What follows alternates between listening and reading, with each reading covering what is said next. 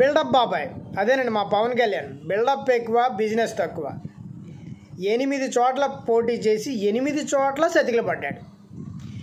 సరే కనీసం కూకట్పల్లిలో అయినా సరే మా వాళ్ళు ఉన్నారు మాకు అమ్మవాళ్ళు ఉన్నారు ఎనభై వేల ఓట్లు ఉన్నాయి వాళ్ళన్న గెలిపిస్తారని ఆశతో ఉన్నాడు. కానీ వాళ్ళు కూడా నెగ్గించలేదు. రెండో ప్లేస్ కూడా సెకండ్ ప్లేస్ కూడా రాలేదు జనసేనకి. ఏ? మీరు మీరు బాగా ఇది కదా? ఏపీలో? అక్కడ కుదరదా? ఎనభై వేల ఓటు ఉన్న చోట కూడా నువ్వు సెకండ్ ప్లేస్లో కూడా కనిపించలేదంటే నీకు ఎలా సపోర్ట్ చేస్తున్నారు? ఎంత సపోర్ట్ చేశారు? అది అలాగుంటే సెటిలర్స్ ఉన్న చోటే బీఆర్ఎస్ నెగ్గింది. దాని అర్థం ఏంటి? చంద్రబాబు పవన్ కళ్యాణ్ దాని అర్థం ఏంటి? మీకు సెటిలర్స్ మీకు సపోర్ట్ చేయట్లేదని క్లియర్గా చెప్పారు.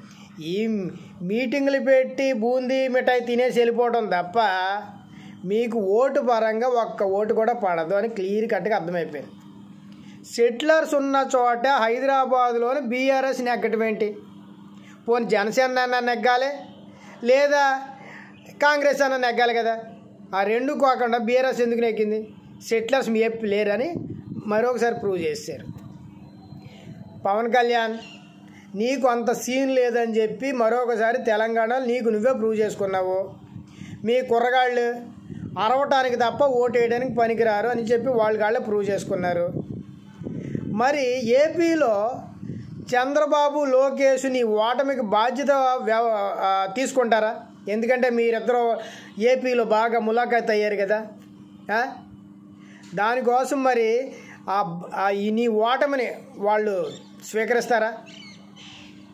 ఏంటి? సమాధానం లేదా? మీకు మాటలు జన జన హృదయాలు నెగ్గే ప్రయత్నం చేయండి.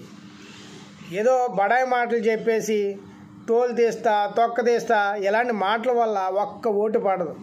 ఈ ఇప్పటికైనా కళ్ళు తెరవండి.